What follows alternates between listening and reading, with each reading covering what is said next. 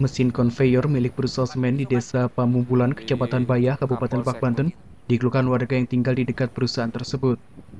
Pasalnya mesin konveyor yang berada tidak jauh dari permukiman warga mengeluarkan suara berisik dan mengganggu kenyamanan warga setempat.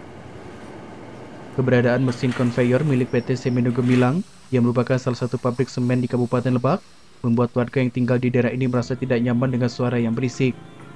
Bahkan keberadaan mesin konveyor milik PT Semendo Gemilang ini menjadi pemicu debu tebal di Kecamatan Bayah.